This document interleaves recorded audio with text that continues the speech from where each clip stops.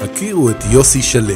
בכל בוקר הוא נכנס לאוטו, בודק מה מצב התנועה בסלולרי, עומד בפקק הקבוע ומגיע לעיר הגדולה, רק כדי לגלות שוב שמקום החנייה האחרון ברחוב בדיוק נתפס.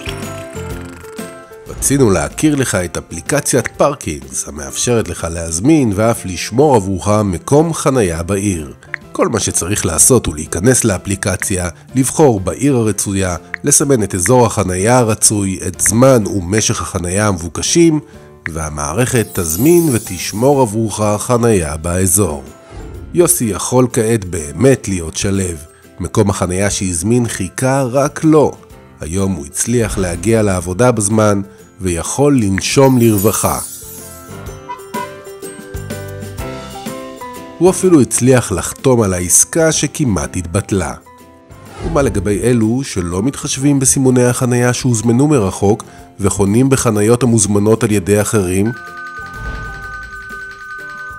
דרך מרכז הבקרה יודעת המערכת לטפל גם בהם.